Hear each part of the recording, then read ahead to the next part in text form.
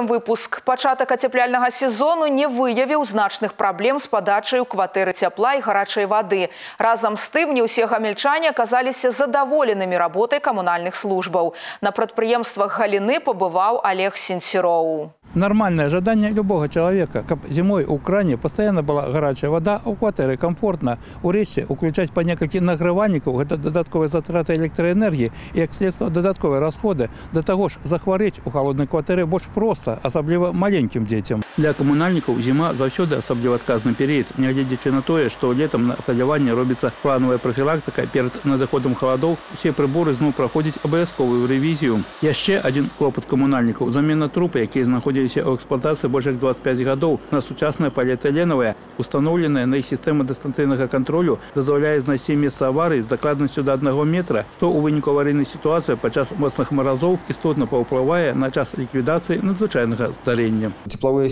сети исчерпали свой ресурс, эксплуатируются больше 25 лет, и, соответственно, тепловые потери по данным сетям э, гораздо выше нормативных, и поэтому э, данные сети модернизируются и увеличивается надежность теплоснабжения абонентов. Хотелось бы и э, большие объемы еще, но финан... все это стоит денег, и финансы не позволяет фактически больше перелаживать. Разом з тым звонкі на тэлефон гарадской камунальнай службы са скаргамі ад насельніцтва пакуль яшчэ паступаюць прычыны розныя у некаторых выпадках недапрацавалі камунальнікі у некаторых некамфортная тэмпература ў кватэрах выклікана канструктыўнымі асаблівасцямі жылых дамоў яшчэ одну прычыну называюць самі камунальнікі частка насельніцтва не прымае меры для захавання цепла размова аб тых жа старых вокнах але ў любым выпадку кожны зварот падстава для прыняцця мер праведзенае на вуліцах гомеля пытанне сведчыць поспехі ў рабоце галіны ёсць але і праблемы застаюцца остаются. Ну, у нас градусника нету в квартире, поэтому я как-то не слежу за этим, но так свободно ощущается тепло, вот как бы нормально.